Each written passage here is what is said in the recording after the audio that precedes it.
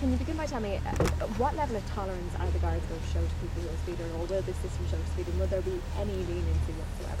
Well, we enforce the law as the law is set down. Um, today is about saving lives. It's about changing the culture of people on the roads, and that's the issue that we're we're, we're focusing on, and that's the point that we're trying to make to people out there.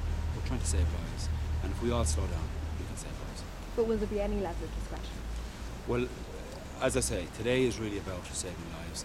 198 people have, have been killed on our roads today, and, and, and we don't want any more.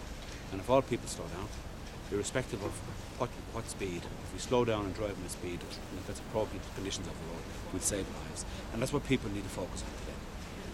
The guards are often accused when it comes to, to speed enforcement of shooting fish in Ireland of, of looking for people in particular places where they're going to get caught. Talk to me about the locations and about the, the incentive for the people who are operating these cameras in terms of um, whether whether there is catch people or not. Well, well, we need to be very clear about the incentive. There is none. Uh, are paid by the hour. We're deploying um, uh, in areas where speed-related collisions occur. Uh, they will be out there at the times uh, of the day and the days of the week, uh, and certainly volume has, has nothing not to do with that. We have one single objective: that's to reduce speed on our roads, which will save lives and reduce the number of uh, serious injuries.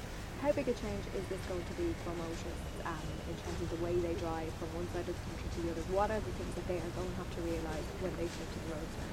Well, well, I hope it's not going to be a major change. Uh, everyone that drives on the road should be responsible uh, as to what speed they're travelling at, and they need to drive at a speed that's appropriate uh, to the conditions of the road at any particular time. Whatever speed that is, they need to be able to maintain control of the vehicle at all times. Uh, where you can't do that, you run the risk of killing yourself, or killing other people in the car, or killing other people on the road that you may not even have met. Uh, and this is a very serious matter. It's about life or death, and we're about trying to reduce that.